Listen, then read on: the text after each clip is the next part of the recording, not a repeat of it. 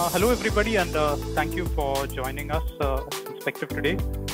Uh, my name is Ashok Krishnan, and I will be the presenter for today's webinar. So, SAR itself as a technology has actually been been around for decades. It's probably uh, it was pro- developed uh, in in the 1950s, uh, initially as a military reconnaissance tool, and over the last decade or so, SAR satellites have found wider commercial applications. SAR can actually penetrate cloud cover and sensitive uh, to the availability of, of light, uh, unlike uh, regular optical satellites. Usually, SAR images such as these undergo some degree of, of processing. Um, raw images do contain um, a fair amount of noise, while while a nicely focused SAR image uh, kind of resembles uh, black and white photography. Optical satellites essentially cannot acquire images when there are clouds and when, when, it, when it's raining or, or in the middle of the night when it's dark.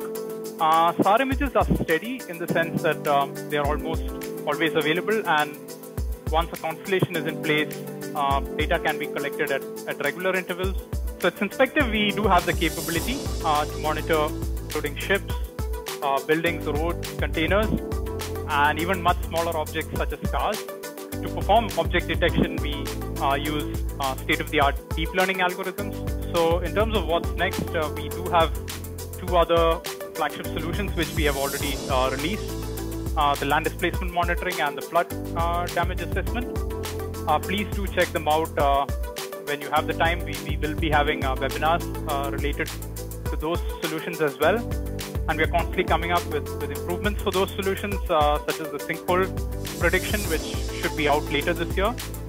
Uh, we also have uh, another solution called the Geospatial Index in the beta phase, which should be released in the next couple of months. And we are looking at beefing up our portfolio of object detection um, solutions uh, uh, for facility monitoring.